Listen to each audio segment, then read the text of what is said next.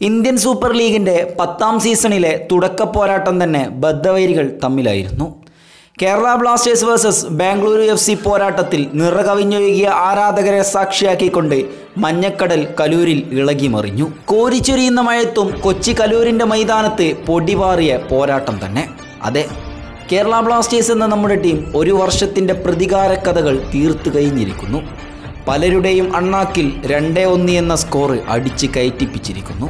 ഇനി നിങ്ങൾ വാ തുറക്കരുത് എന്ന സിമ്പലുകൾ ഗാലറിയുടെ എല്ലാ ഭാഗത്തു നിന്നും മുഴങ്ങി കേട്ടുകൊണ്ടിരിക്കുന്നു. എല്ലാം കൊണ്ടും തൃപ്തിയാർന്ന ഒരു പോരാട്ടം തന്നെ. വലിയ പ്രതീക്ഷകൾ എടുത്തുവെപ്പിക്കുന്ന ഒരു പോരാട്ടം തന്നെ.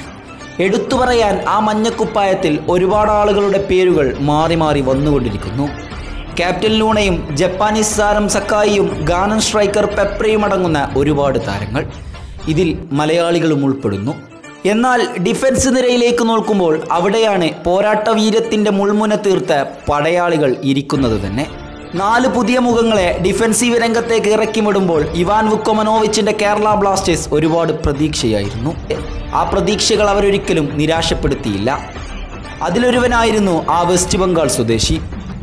ദിസ് നെയ്മീസ് പ്രബീർ ദാസ്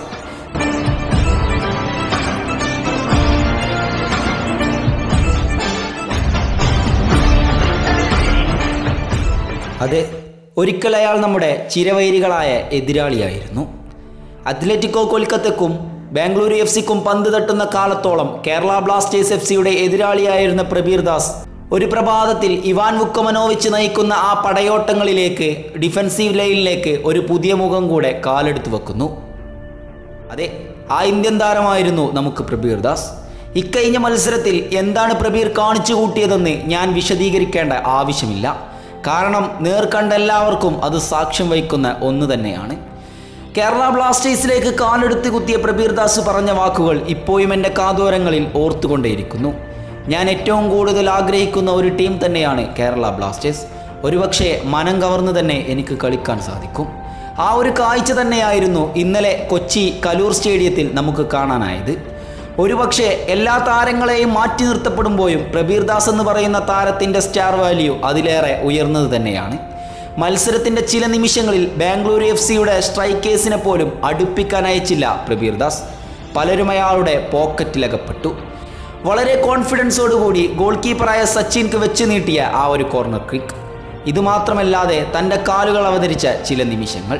ചിലപ്പോഴൊക്കെ ഗോളായി എന്ന് വിചാരിച്ച അവസരങ്ങൾ പ്രബീർ ദാസ് അകറ്റി മാറ്റുകയായിരുന്നു.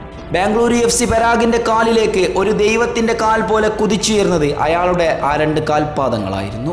ആ മഞ്ഞക്കടലുകൾ അയാൾക്ക് വേണ്ടി ചാൻഡുകൾ പാടിയ ദിവസം.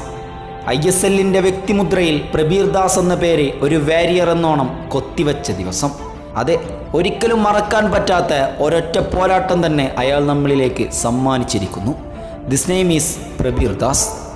This name